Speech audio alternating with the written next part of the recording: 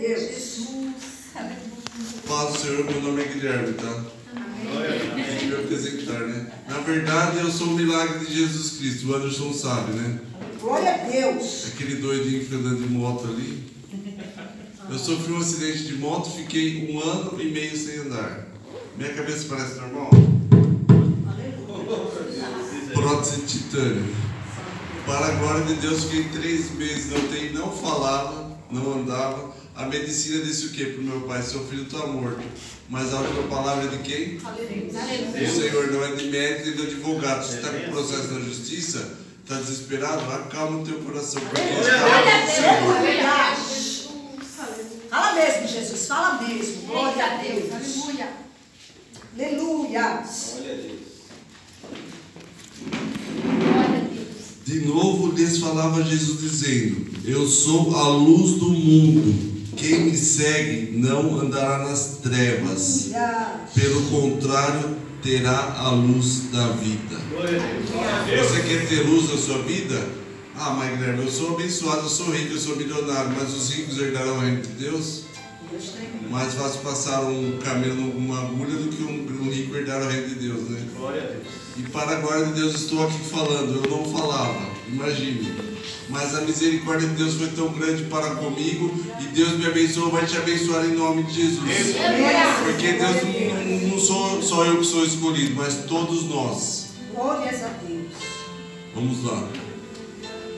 O tema da pregação hoje é a tua história. Gênesis 2, 1, 2, 3. Santo Deus. Glória, glória a Deus. Né? Aleluia. Não se acanhe, pode dar glória a Deus. Glória a Deus. Aleluia. Deixe o Espírito Santo te guiar. Bendito seja o teu nome, Deus chama Abraão e lhe faz promessas. Ora, disse o Senhor a Abraão: Sai da tua terra, da tua parentela e da casa de teu pai, e vai para a terra que te mostrarei. E te farei uma grande nação, e te abençoarei e te engrandecerei o nome. Se tu uma bênção. Abençoarei os que te abençoarem, e amaldiçoarei os que te amaldiçoarem. Em ti serão benditas todas as famílias da terra. Nós somos o que de Abraão hoje? Descendência de Abraão. Então, nós somos, como Abraão foi abençoado, nós somos abençoados por Deus. Glória a Deus. Deus foi misericordioso para conosco, né? Teve misericórdia e enviou o seu Filho Jesus Cristo para que fizesse, fosse um homem e morresse por amor a nós. Para a glória de Deus, estamos muito bem vivos, né? Estamos passando por essa pandemia. O que Deus está fazendo? Está passando uma peneira. Não é, não é que todos vão morrer. Não sei, né? Eu não sou Deus para falar isso, na verdade. Mas Deus está, está colhendo os frutos que não geram frutos serão. O que, que uma árvore que onde ela não é- gera fruto que ela é feita? Podada, né? Cortada, jogada, lançada no fogo, como o pastor Marcelo está dizendo. Aleluia. É forte. Aleluia. É forte. Então, vai, lança a tua rede sobre o mar, dê frutos.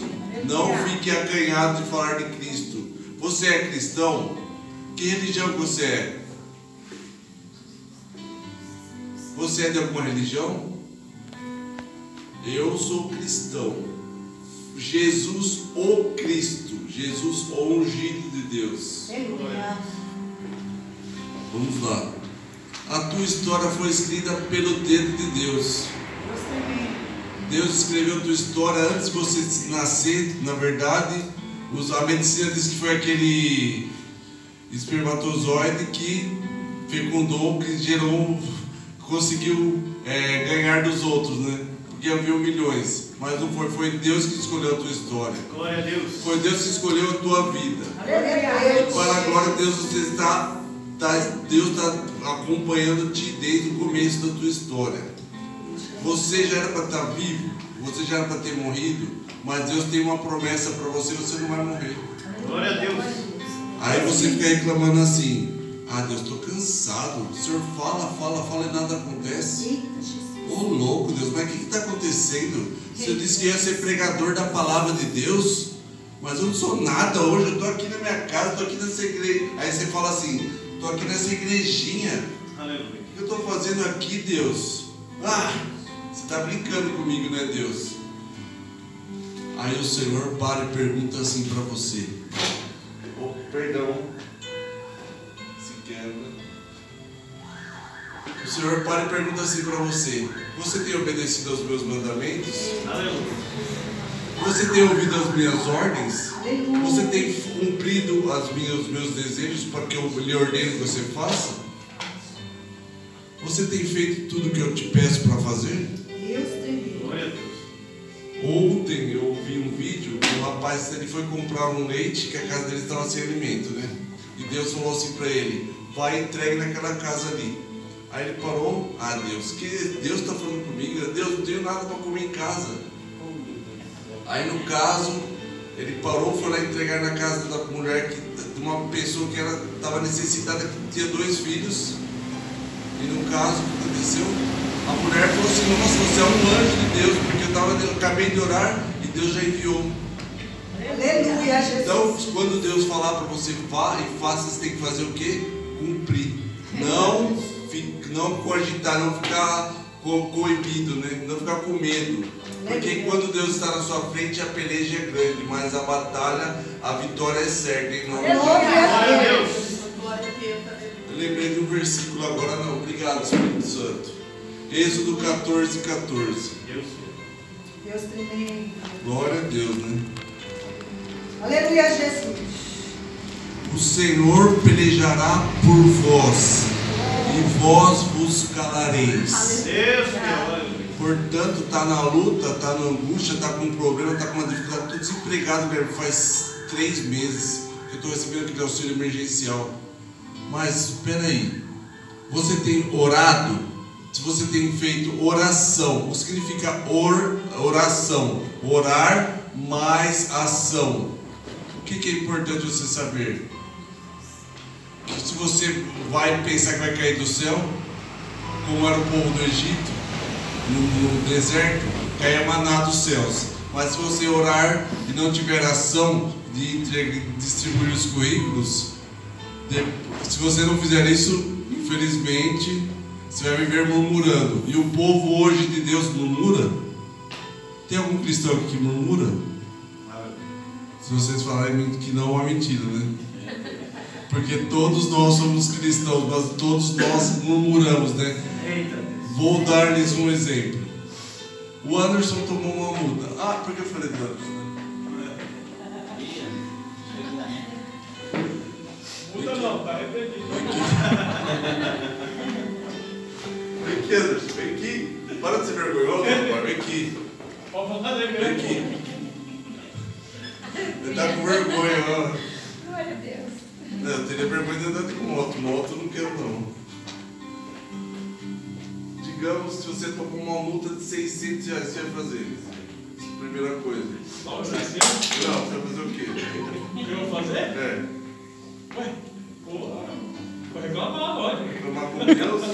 Me deu essa multa? Ah, é. Não com Deus, né? Porque Deus é culpado, né? Eu. Reclamar. Nossa, No caso, o que que nós costumamos fazer primeiramente? Deus, por que, que o Senhor me deu essa multa? Mas peraí, foi Deus que deu a multa ou você que andou em- em- foi acima do limite? Aleluia. Então, se alguma coisa está acontecendo com você, não reclame, pare e pense nas suas atitudes, na sua maneira, na sua vã maneira de agir, né? Deus tremendo. Como assim? Ah, eu- Deus tem falado para eu dar alimento para aquela pessoa ali, ó. Digamos que, eu não sei o nome da irmã. Cíntia. Mas eu não vou dar não, porque ela é rica. Ixi, essa menina é rica. E tipo, digamos que eu estou pensando desta forma. Aí no caso eu não vou dar e vai, vai, vai faltar em casa. Ah Deus, por que você fez isso? Foi a culpa de Deus ou você não obedeceu à voz de Deus? Então, o que nós devemos fazer é obedecer ao Senhor. Em tudo que Ele manda que você, você faça, faça. Não fique cobido, não fique com medo, coabido, né? Com medo, com vergonha no caso. Aí Deus te diz assim: A minha promessa está de pé na sua vida. Vai acontecer. Aí você pega e você murmura assim, mais uma vez eu estou ouvindo isso. Mas espera aí, você tem cumprido os meus mandamentos? Você tem obedecido as minhas, as minhas leis? Tem andado conforme o meu querer? Ou tem andado conforme o teu querer? Você está cansado de esperar, né? Mas, como eu estou dizendo, não murmure. A glória, glorifique e adore o nome do Senhor. Agradeça em tudo que Ele mandar fazer, faça. Mateus capítulo 25. Quando tive fome, deste-me de comer. Sede, deste-me de beber. Estavas nu e me vestistes. Nós pensamos que muitas vezes uma atitude nossa dessa forma vai ser uma atitude muito pequenininha. Deus não está vendo, mas Ele está vendo sim. Você está ajudando, você está amando o seu irmão. O nosso maior problema é o tempo, né? Mas o tempo serve para quê? Para nos fazer amadurecer, né? para nos moldar, para nos levar a ter, a chegar à estatura de varão perfeito.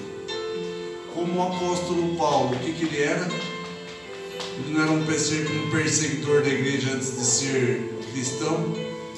Depois de Cristo, que ele, aceitou Cristo no caminho de Emaús, acho que foi, pastor? De Emaús, estava no caminho. Glória a Deus. E o que aconteceu? Ele não foi o maior escritor da palavra de Deus? Aleluia. Ah, posso fazer uma, uma prova com eles? Fazer-lhes uma pergunta? Sem a Érica responder, por favor. Quantos livros tem a Bíblia, irmãos?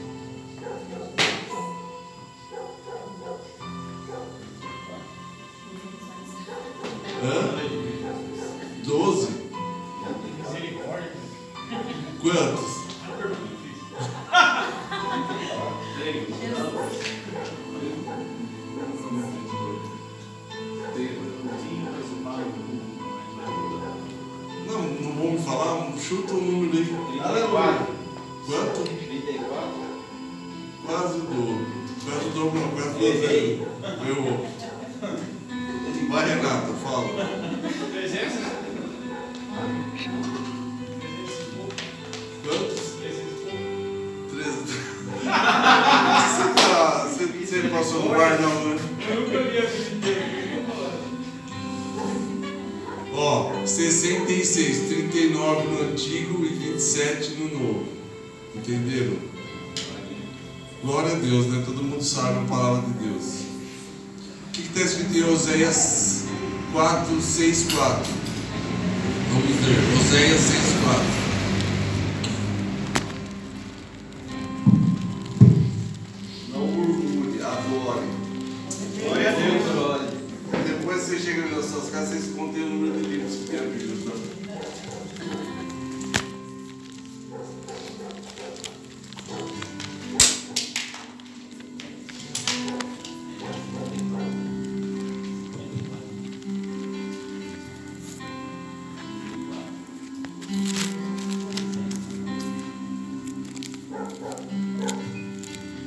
4, 6.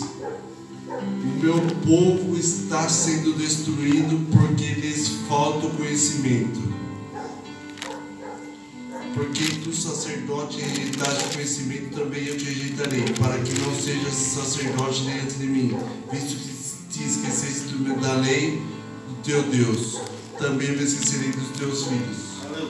E o que tá significa isso? Dizer que o nosso Deus, ele fala que o meu povo está sendo destruído porque lhes falta o conhecimento.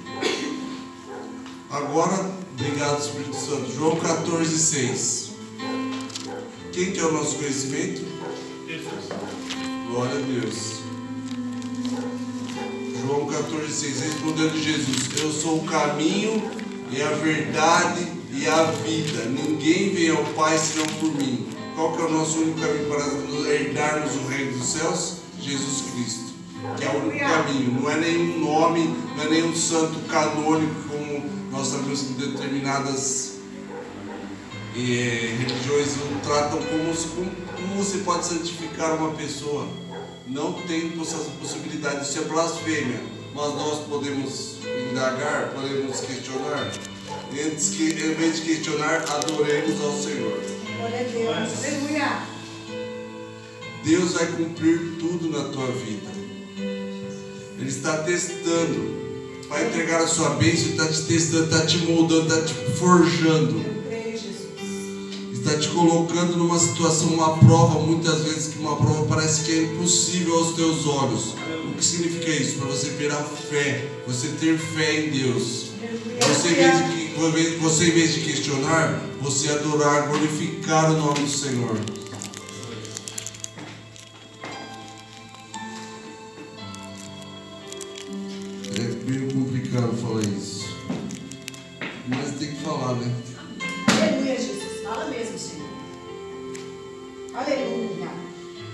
Você fica se desculpando para Deus. Tá fácil você ficar se desculpando para Deus? Como assim me desculpando? Ah, Deus, eu não posso ir lá porque eu tenho que trabalhar. Aleluia. Ah, eu não posso fazer aquilo porque eu não tenho dinheiro. Ah, não posso fazer aquilo porque vai vir visita na minha casa. Ah, você quer saber de uma, uma visita, uma coisa que é muito. Se alguém falar que não vai acontecer, é mentira.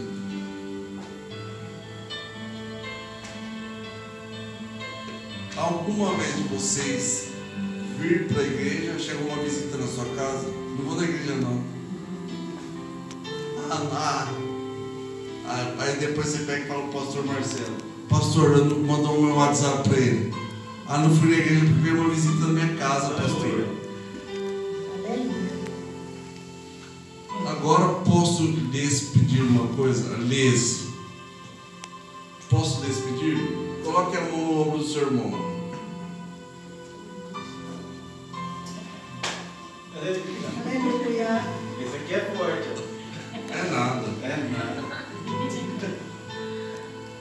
Diga assim.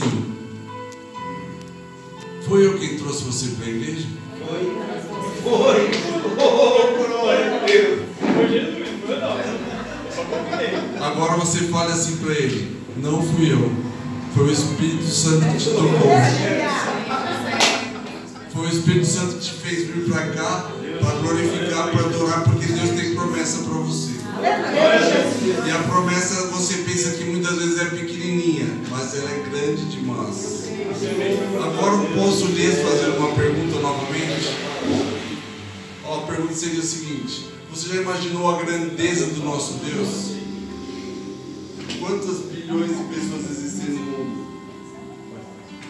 7 bilhões mais ou menos, né? E ele conhece a voz de cada pessoa, conhece o problema de cada pessoa, conhece cada pessoa.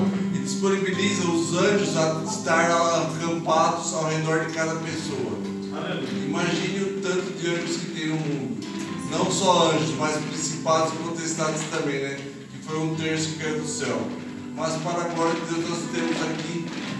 Está escrito em Mateus 4,4, Anderson, lê pra gente, por favor. Tem?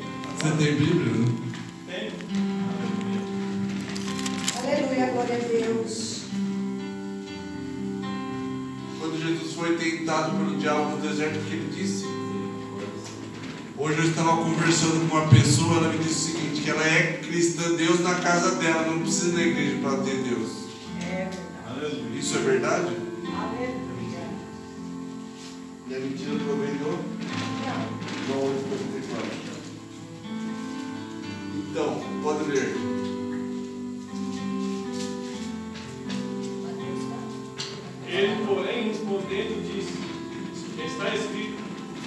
De pão viverá o homem, mas toda a palavra que sai da boca de Deus. Aleluia, né? E onde você pode encontrar a palavra que sai da boca de Deus? No nosso manual que Deus nos deixou, que é a Bíblia. Mas você vai fazer isso na sua casa? O importante é você estar na igreja glorificando o nome do Senhor, exaltando o nome do Senhor. Portanto, não desvalorize a sua- a casa do Senhor. Como o salmista Davi diz lá em Salmo 121. Renata, lê pra gente agora. Estou colocando o pessoal à prova hoje, né? O que, que o salmista disse quando ele ia para a casa do Senhor? O que que nós devemos dizer em vez de ficar reclamando, falando nossa visita assim, nosso parente? Ah, não vou na igreja não, deixa lá. Hoje eu não vou não. Essa época está uma época de pandemia, eu não posso ir na igreja. Você não está se alimentando da palavra de Deus hoje? Agora a Renata vai ler a palavra. Glória a Deus. 21, né? É. Eleva os olhos para os montes. Não, de- 122, perdão. Alegrei-me quando me disseram: Vamos à casa do Senhor. Os nossos pés estão dentro das tuas portas, ó Jerusalém. Glória a Deus. Né? Aleluia. Glória a Deus. Alegrei-me quando me disseram: Vamos à casa do Senhor. Em vez de você murmurar, em vez de você reclamar, ah, muitas vezes o que acontece, eu vou lhes falar uma coisa. Você está com atrito com alguma pessoa, aí você vê a pessoa e fala assim, vixe, esse irmão. Que já sabe o que significa isso, né? Que incomoda eu, que por que ele está aqui? Nossa Deus, eu ter que sair da igreja por causa desse irmão. Gostaria de lhes fazer uma- um convite agora. Se você se abraçasse e dissesse assim para o seu irmão, Jesus Cristo é o meu Senhor, é o meu Salvador. Amém? Levantem, vamos abraço uns aos outros. Por que, que eu falo isso? Mateus 10, 32, quando nós confessamos Jesus Cristo diante de- das pessoas, nós estamos confessando diante de. Deus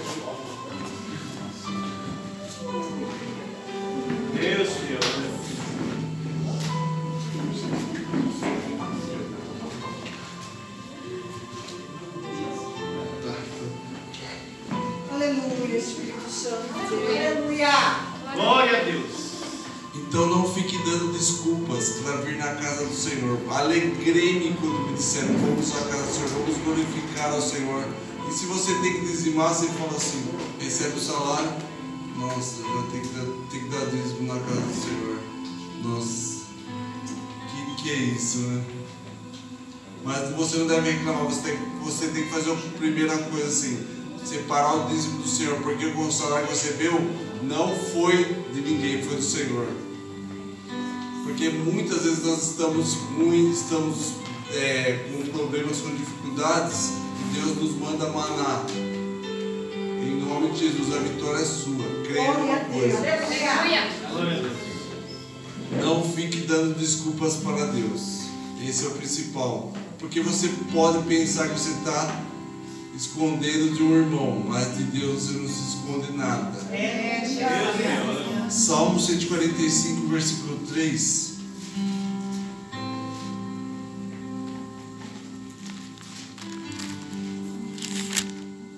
Para quem não falava, eu estou bem, né? Glória a Deus. Aleluia. Enquanto eu viver, falarei do amor de Deus. Glória a Deus. Grande é o Senhor e muito digno de ser louvado, e a sua grandeza é insondável. O que significa insondável? Que não pode ser medida.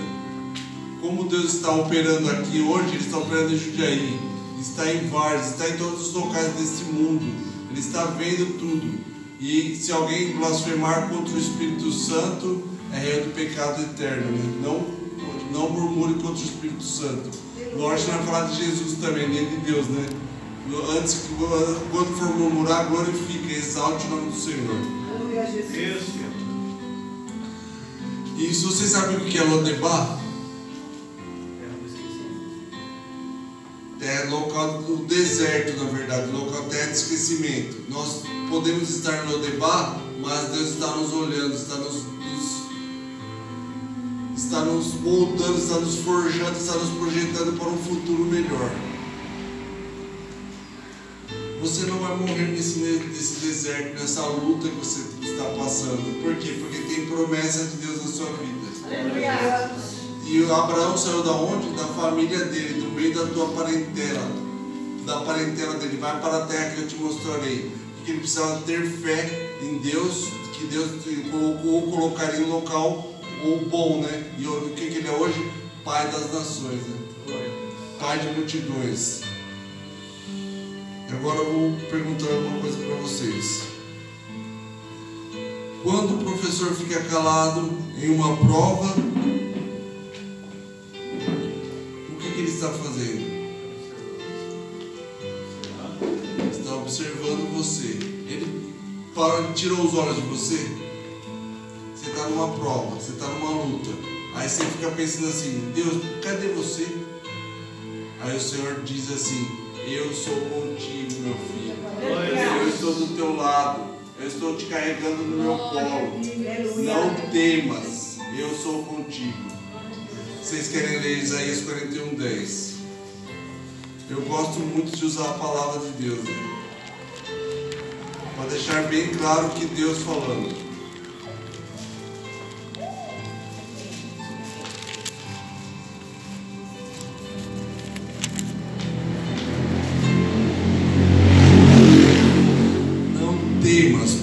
Sou contigo. Não te assombres, porque eu sou o seu Deus. Eu te fortaleço e te ajudo, te sustento com a destra, minha destra fiel. Eis que envergonhados e confundidos serão todos os que estão indignados contra e confundidos serão todos os que estão indignados contra ti. Serão reduzidos a nada, e os que contendem contigo perecerão. Aos que pelejam contra ti, buscá-lo-ás, porém não os acharás, serão reduzidos a nada, e a coisa de nenhum valor, os que fazem guerra contra ti. Porque eu sou o Senhor teu Deus, te tomo pela tua mão direita e digo: Não temas que eu te ajudo, né? Não temas, porque Deus está te ajudando. Ele está olhando, olhando sua luta, seu sofrimento, sua luta. Está te moldando, está te projetando para um futuro maior. Como no meu caso, eu trabalhava na Siemens, era estagiário em engenharia, tinha quatro dias de trabalho, estava indo para o quinto dia de trabalho, o caminhão da Coca-Cola não fechou. Hoje eu sou aposentado por invalidez. Mas para os homens, para Deus eu sou inválido. Para a glória de Deus eu viverei, falarei e glorificarei o nome do Senhor para todos sempre. Glória a Deus. Então o Senhor está contigo, não tema nessa luta, não tema nessa. Está sendo forjado, está sendo moldado, em nome de Jesus. Alguém faz um cadeado sem chave? Aleluia. Responde Renato. Alguém faz um cadeado? É porque eu só conheço os dois, por isso eu estou pegando no pé deles. Tá? Alguém faz um cadeado sem chave? Assim Deus não permite um problema sem uma solução. Entendeu? No caso, você está passando por uma angústia, mas Deus está te moldando, está te usando muitas vezes para poder é, mudar a vida de outra pessoa, pode ser da sua família, pode ser do seu trabalho, de onde você esteja. Mas cuidado, uma coisa eu vou lhes falar agora. Quando você chegar na sua casa, você diga assim: está repreendido todo o espírito da potestade principal, dominador desse século, em nome de Jesus. Porque quem reina aqui é o Rei Jesus. É o meu mestre, o Jesus é o meu mestre. Sai em nome de Jesus. Uma coisa que nós devemos declarar e saber: o diabo tem as chaves da casa dele? O que é a casa do diabo? O inferno. Só que o inferno está fechado ainda, não está aberto. Apocalipse 1,18.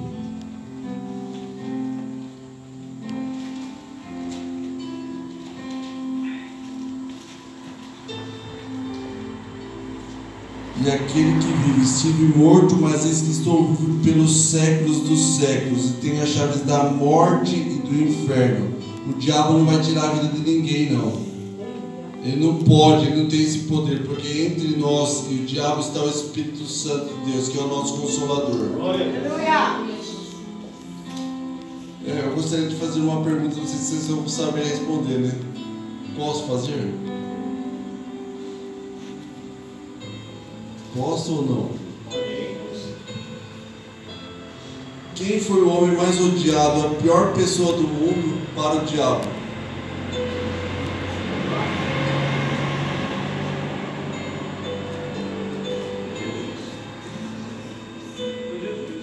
Jesus Cristo, glória a Deus. Por quê? Porque Ele tomou todos os nossos pecados, as nossas doenças e levou na cruz. Quem que pode te levar para o inferno? O diabo? Não é o diabo que pode te levar para o inferno, são os seus pecados.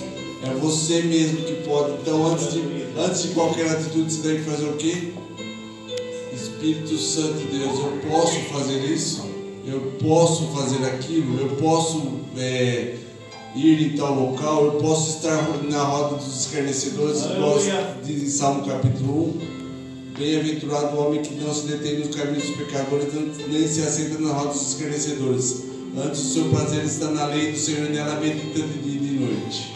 E para a glória de Deus seremos salvos, arrebatados. Muito em breve veremos o nosso bom Jesus vindo nos ares com os seus anjos, e todo joelho e todo língua confessará que Ele é Jesus, que é o Senhor e Salvador. Aleluia.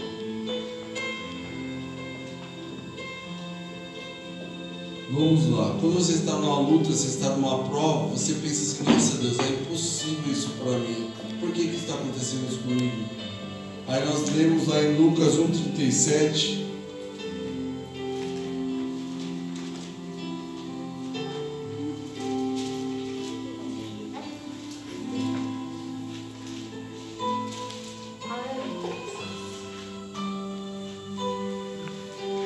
Porque para Deus não haverá impossíveis em todas as suas promessas. Se, se Deus te prometeu, vai se cumprir. Espere, não reclame, não murmure. E em nome de Jesus a vitória já é sua. Não reclame, não fique questionando a Deus. Antes, obedeça o seu chamado. Cumpra as vontades do Senhor. Em nome de Jesus, amém. Vamos cantar um louvor agora? Glória a Deus. Vocês me ajudem, né? Porque vocês viram que eu não sou bom de louvor. Aleluia. Jesus. Aleluia, Jesus. Glórias a Deus.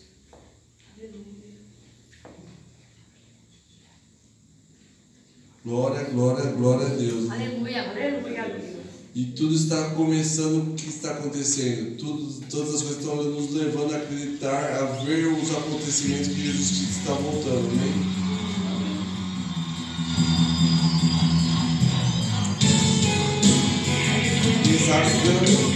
Glória a Deus.